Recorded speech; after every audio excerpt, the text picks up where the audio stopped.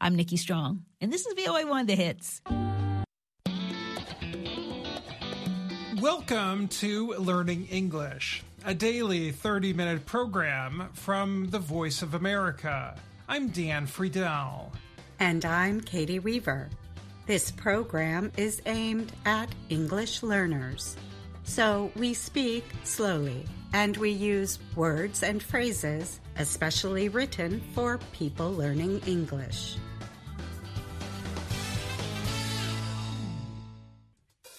Today on the program, Anna Mateo is here for a conversation about something white and cold that falls from the sky. Then, Kelly Jean Kelly joins us for the next part in our series on America's presidents. This week, she reviews the two terms of Bill Clinton. But first, the Higher Education Report. The presidents of three well known American universities recently spoke to members of the U.S. Congress about anti Semitism on college campuses. Anti Semitism is the word used to describe a hatred of Jewish people. The House's Committee on Education called Liz Magill of the University of Pennsylvania Claudine Gay of Harvard, and Sally Kornbluth of the Massachusetts Institute of Technology, MIT, for a five hour hearing in Washington, D.C.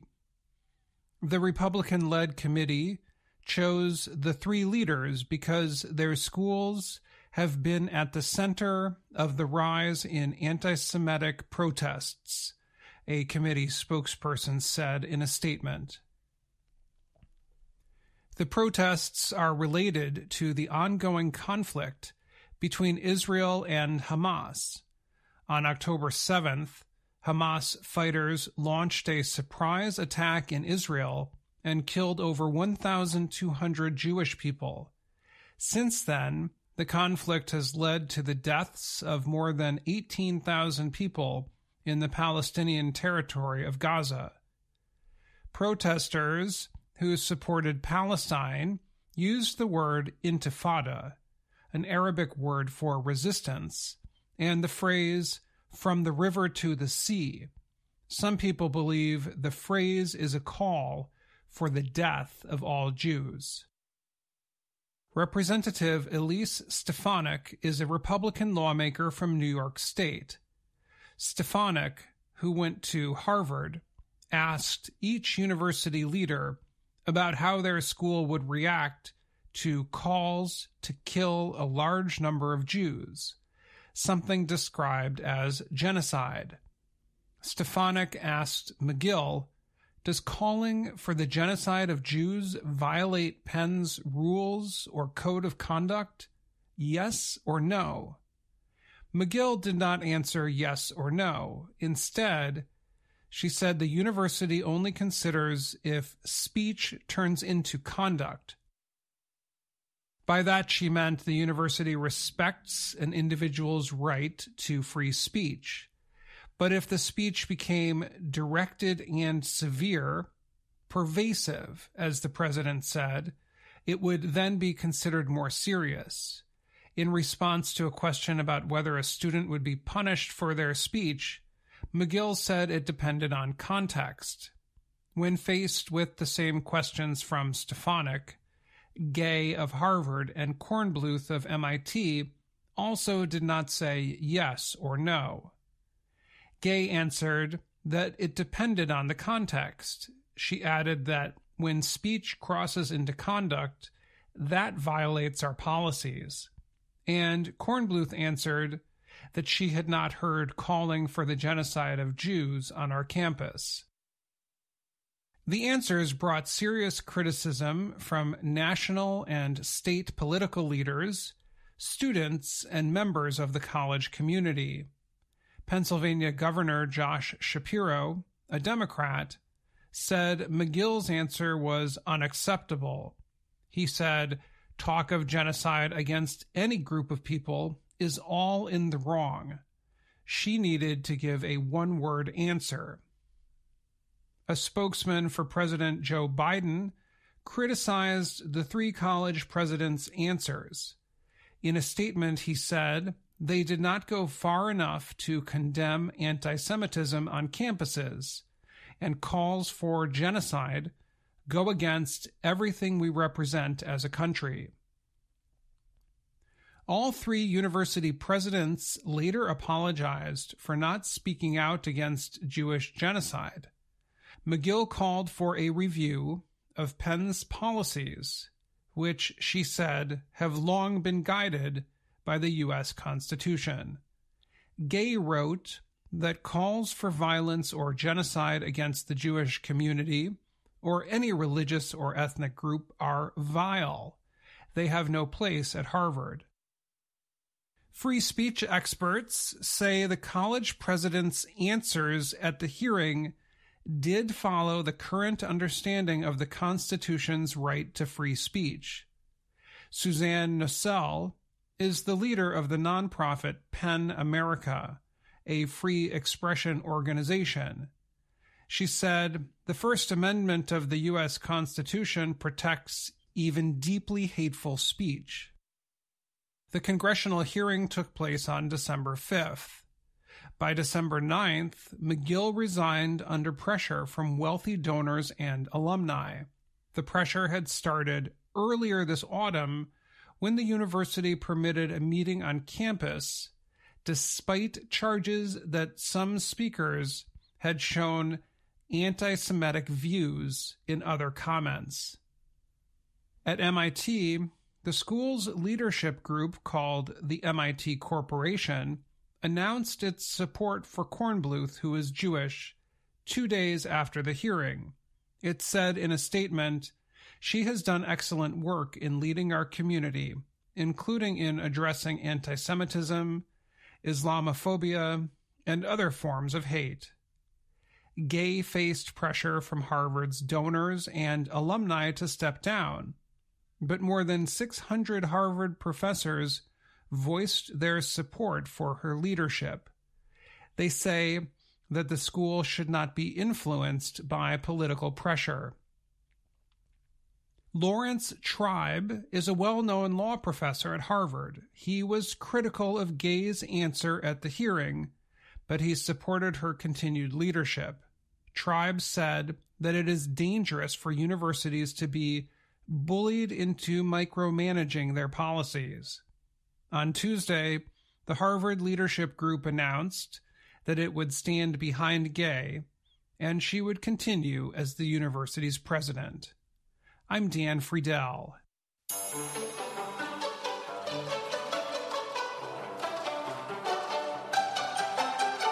And now, words and their stories from VOA Learning English.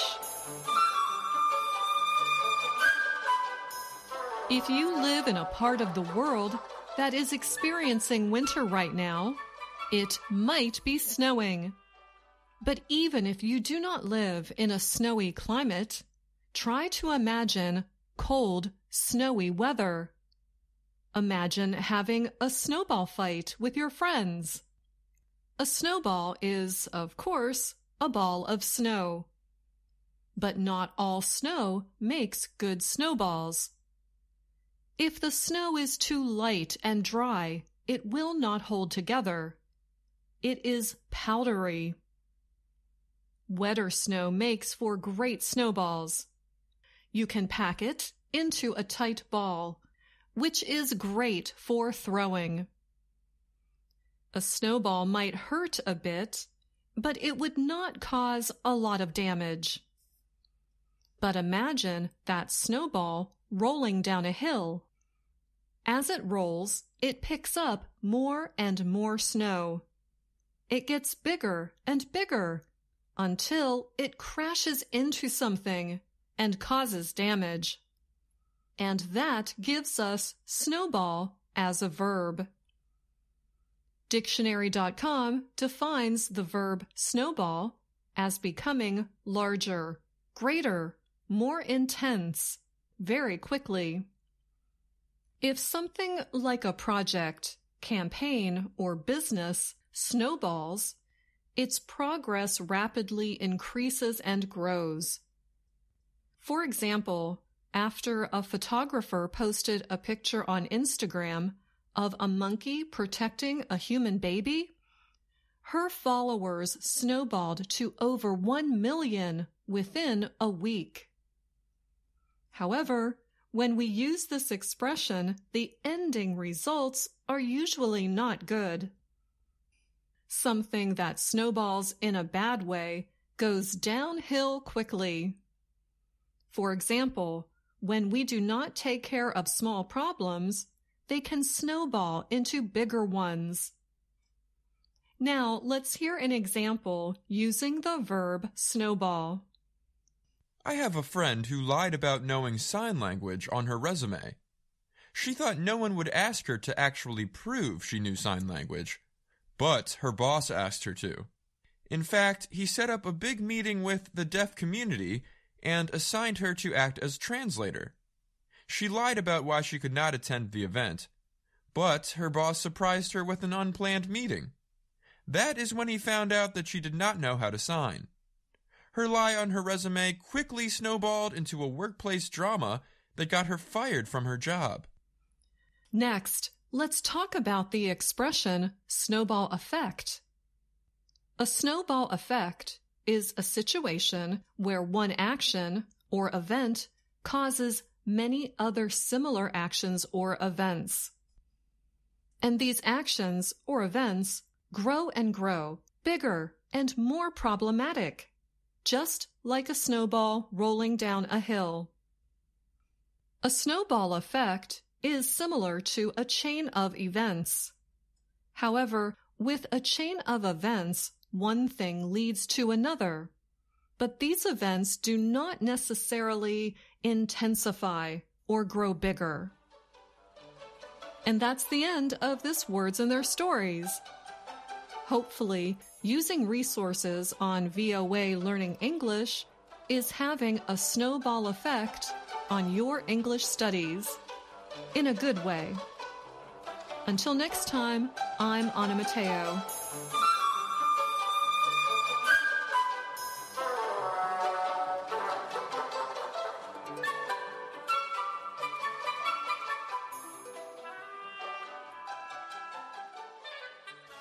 I'm Dan Friedell, and you're listening to the Learning English podcast. We just heard Anna Mateo's Words and Their Stories.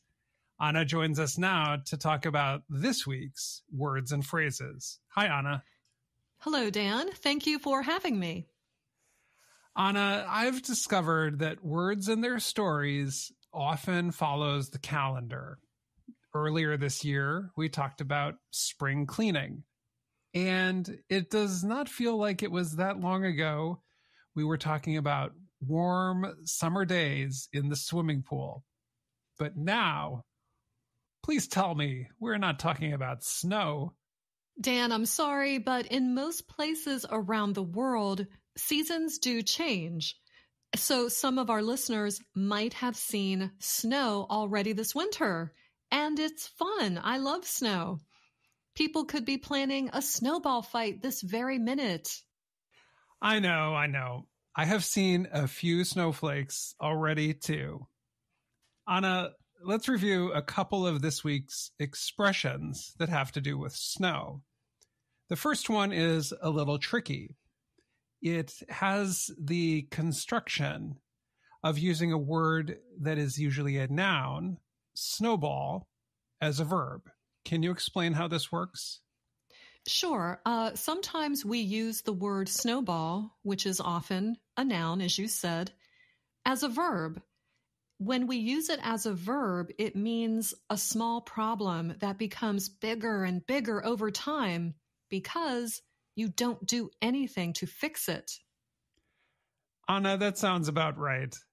I feel like sometimes if you do not take care of problems right away, they can definitely snowball or turn into bigger ones.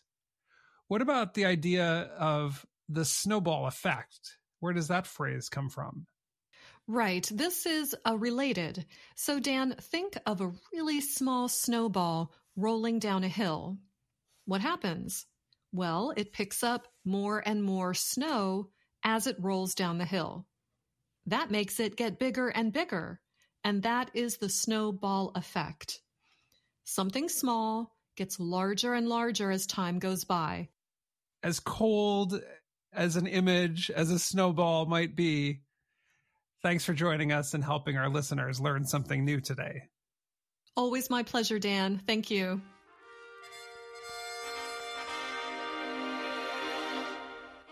VOA Learning English presents America's Presidents. Today we are talking about William Jefferson Clinton, better known as Bill Clinton. Clinton took office in 1993 and was reelected in 1996. In many ways, historians consider his time in office a success. The economy expanded and the country was largely at peace. But Clinton had some notable failures, too. He could not persuade Congress to accept a plan to reform the nation's health care system. And in his second term, the House of Representatives took steps to remove him from office. But the Senate decided not to act. Clinton finished his second term with high approval ratings. Yet, he is also remembered for being only the second U.S. president to be impeached.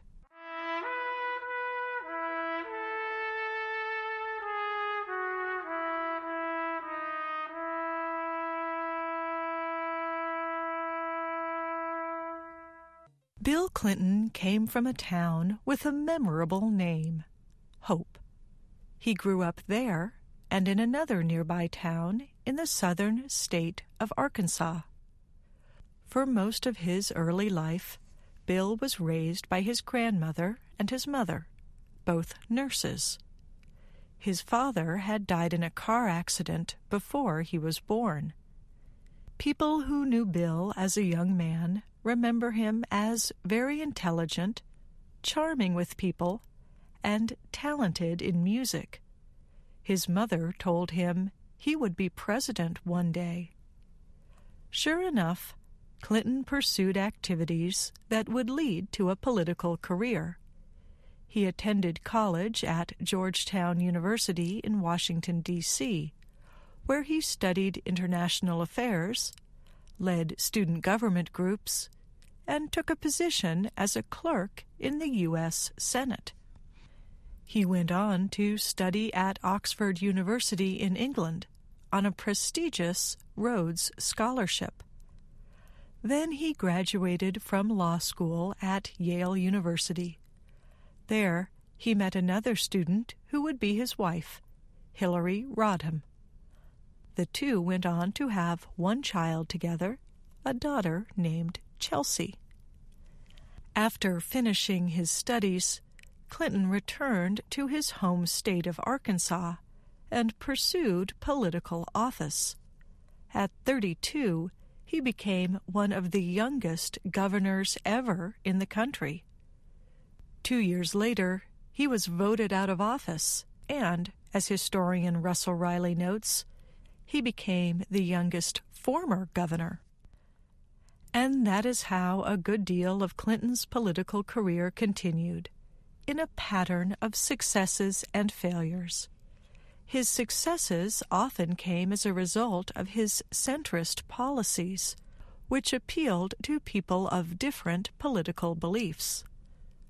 He also was an effective public speaker and, to many, a likable, charismatic person who seemed to care deeply about others. But, his critics pointed out, Clinton also appeared to make many decisions simply for political advantage. And he sometimes tried to please so many people that he pleased no one. Following a series of increasingly national roles, as well as a series of setbacks, Clinton campaigned for president in 1992 at first, he did not do well in the campaign. He was young and not well known. He also suffered from reports that he had relationships with women who were not his wife. But in time, Clinton began winning primary contests. Reporters called him the comeback kid. He earned a public image as a politician who could survive problems. In the general election, Clinton competed against the sitting president, Republican George H.W. Bush. The two men also faced an unusually strong third party candidate named Ross Perot. On election night, Clinton prevailed. Because Americans had split their votes among three major candidates, Clinton earned less than 50% of the popular vote.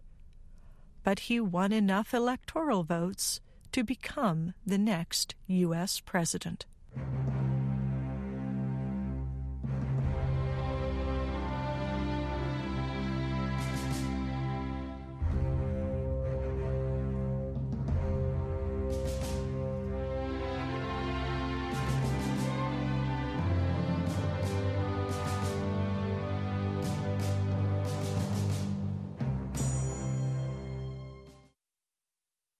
The people who worked on Bill Clinton's presidential campaign adopted an informal motto.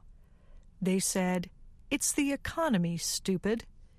In other words, campaign officials believed that most Americans cared primarily about how a president's policies would affect their financial concerns. So, President Clinton quickly set about making a series of economic changes. They included raising taxes on wealthier Americans and cutting spending to help poorer Americans. In a few years, the U.S. budget deficit was gone, the federal government had a surplus, and the country's financial situation was strong and healthy, although not everyone approved of the steps Clinton took to get there or believed he should get all the credit. Early in his first term, Clinton sought an additional reform he believed would help voters' financial concerns affordable health insurance for all Americans. Most people in the U.S. either bought private health insurance or did not have any insurance to help pay for medical costs. Clinton wanted to find a way for the U.S. government to support Americans' health related expenses. He appointed his wife, First Lady Hillary Clinton, to lead a health care reform effort. Hillary Clinton, a lawyer, had led a similar effort to reform education in Arkansas when her husband was governor there. But some lawmakers in Congress, as well as some voters, rejected her efforts. The reform effort failed. Clinton also struggled in some early foreign policy moves. He withdrew American troops from Somalia after their humanitarian efforts there turned into a bloody military struggle. He was also criticized for failing to intervene quickly in the genocide in Rwanda, where hundreds of thousands of people were killed. Later, Clinton won praise for some of his foreign policy. His government helped restore the elected president in Haiti after a coup. It also helped negotiate peace agreements in Bosnia and Ireland. And it cooperated with NATO to intervene in the Kosovo area and stop attacks on Albanians there. In general, Clinton believed the U.S. had an important role to play in maintaining peace and protecting human life around the world. At the same time, he did not want to use too many American resources to do so. He aimed to cooperate with other nations and to set moderate goals. As usual, Clinton adopted an approach that was not too extreme on one side or another.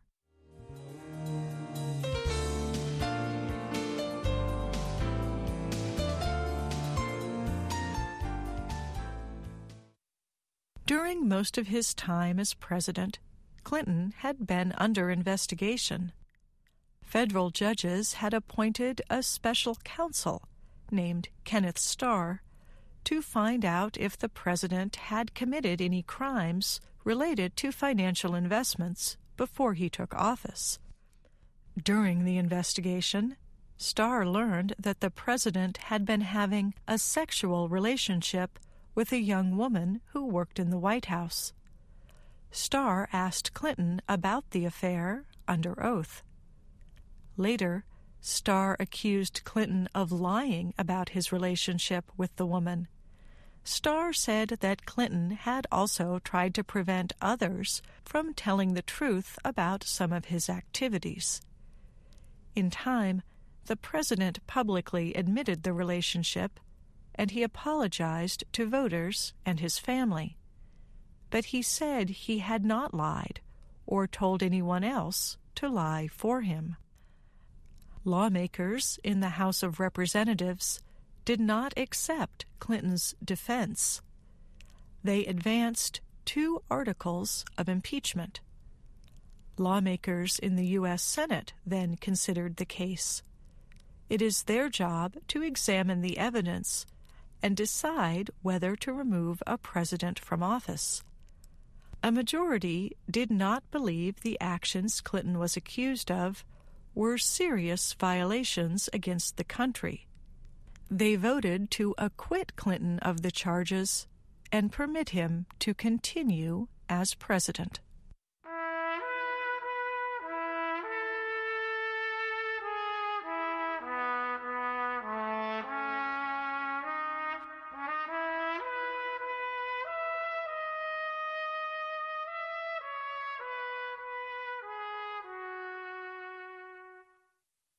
In the U.S., a president can serve only two full terms.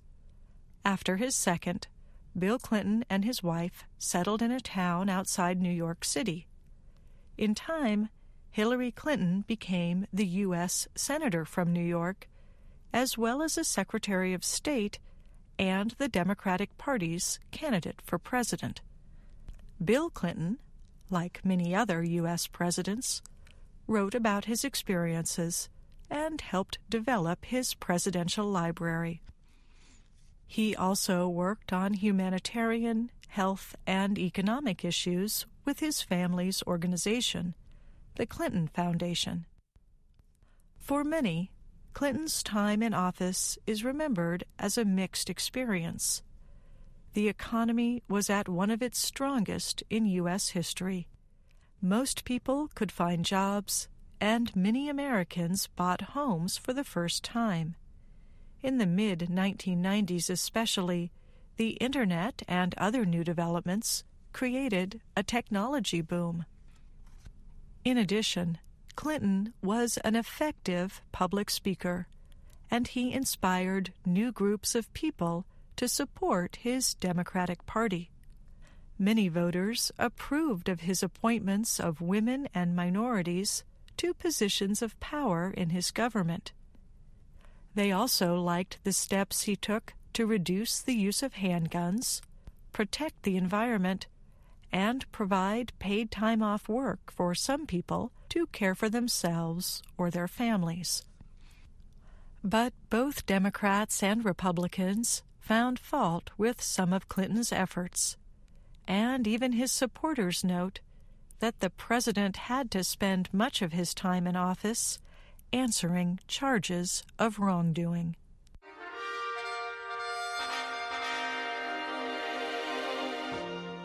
I'm Kelly Jean Kelly.